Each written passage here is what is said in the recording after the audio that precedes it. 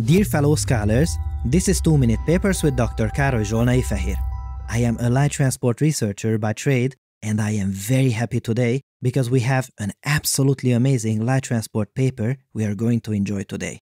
As many of you know, we write these programs that you can run on your computer to simulate millions and millions of light rays and calculate how they get absorbed or scattered off of our objects in a virtual scene.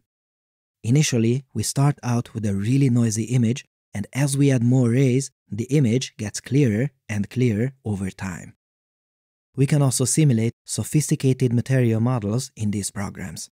A modern way of doing that is through using these material nodes. With these, we can conjure up a ton of different material models and change their physical properties to our liking.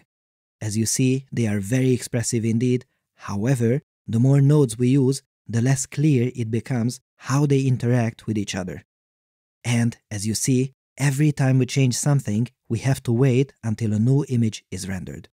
That is very time consuming, and more importantly, we have to have some material modeling expertise to use this.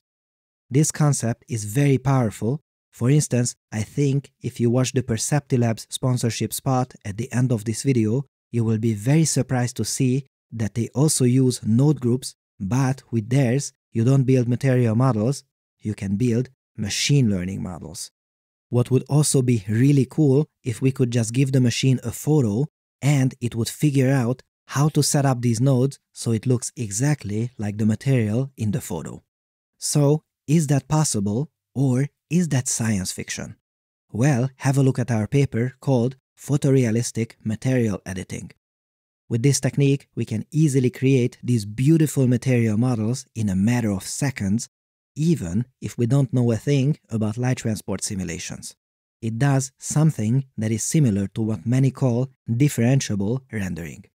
Here is the workflow. We give it a bunch of images like these, which were created on this particular test scene, and it guesses what parameters to use to get these material models. Now, of course, this doesn't make any sense whatsoever because we have produced these images ourselves, so we know exactly what parameters to use to produce this. In other words, this thing seems useless. And now comes the magic part. Because we don't use these images. No, no. We load them into Photoshop and edit them to our liking and just pretend that these images were created with the light simulation program. This means that we can create a lot of quickly and really poorly executed edits. For instance, the stitched specular highlight in the first example isn't very well done, and neither is the background of the gold target image in the middle. However, the key observation is that we have built a mathematical framework which makes this pretending really work. Look, in the next step, our method proceeds to find a photorealistic material description that, when rendered, resembles this target image and works well even in the presence of these poorly executed edits.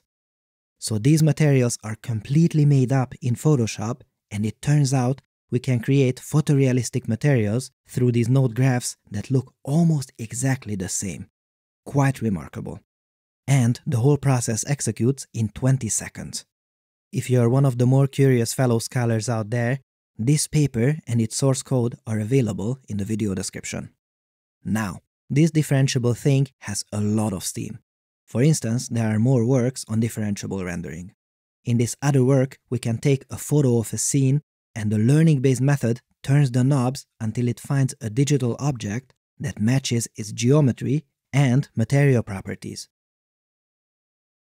This was a stunning piece of work from Wenzel Jakob and his group. Of course, who else? They are some of the best in the business. And we don't even need to be in the area of light transport simulations to enjoy the benefits of differentiable formulations. For instance, this is differentiable physics. So, what is that? Imagine that we have this billiard game where we would like to hit the white ball with just the right amount of force and from the right direction such that the blue ball ends up close to the black spot. Well, this example shows that this is unlikely to happen by chance and we have to engage in a fair amount of trial and error to make this happen. What this differentiable programming system does for us is that we can specify an end state which is the blue ball on the black dot, and it is able to compute the required forces and angles to make this happen. Very close. So, after you look here, maybe you can now guess what's next for this differentiable technique. It starts out with a piece of simulated ink with a checkerboard pattern, and it exerts just the appropriate forces so that it forms exactly the yin-yang symbol shortly after. And now that we understand what differentiable techniques are capable of, we are ready to proceed to today's paper. This is a proper, fully differentiable material capture technique for real photographs. All this needs is one flash photograph of a real-world material. We have those around us in abundance and similarly to our previous method, it sets up the material nodes for it. That is a good thing because I don't know about you, but I do not want to touch this mess at all. Luckily, we don't have to. Look, the left is the target photo and the right is the initial guess of the algorithm. That is not bad, but also not very close. And now hold on to your papers and just look at how it proceeds to refine this material until it closely matches the target. And with that, we have a digital representation of these materials. We can now easily build a library of these materials and assign them to objects in our scene. And then we run the light simulation program, and here we go. Beautiful. At this point, if we feel adventurous, we can adjust small things in the material graphs to create a digital material that is more in line with our artistic vision. That is great, because it is much easier to adjust an already existing material model than creating one from scratch. So, what are the key differences between our work from last year and this new paper? Our work made a rough initial guess and optimized the parameters afterwards. It was also chock full of neural networks. It also created materials from a sample, but that sample was not a photograph, but a photoshopped image. That is really cool. However, this new method takes an almost arbitrary photo.